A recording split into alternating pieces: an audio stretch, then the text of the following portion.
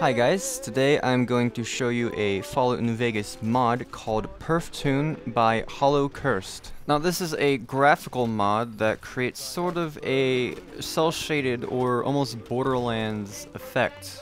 You should be given a tool called the Gem Effects Configurator. With this you can change all of the settings, but I pretty much turned off everything except the actual cartoon effect, which is what creates the cel-shaded uh, look.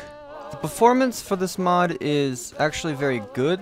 I experienced little to no frame drop or stuttering. I, I, had no types of issues like that. So I prefer this over ENB, not only for that reason, but also because it looks like it belongs in the game. It's very lore friendly.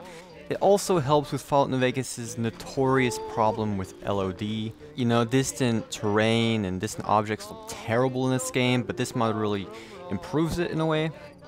The mod is actually pretty consistent upon how it looks. You know, it looks pretty good uh, no matter if it's day or night or you're inside, outside. And uh, yeah. If you want this mod, I will put it in the description down below. If you enjoyed this video, make sure to like and subscribe and all of that.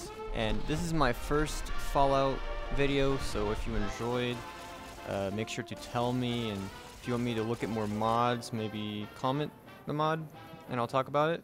But uh, yeah, thank you for watching and see you.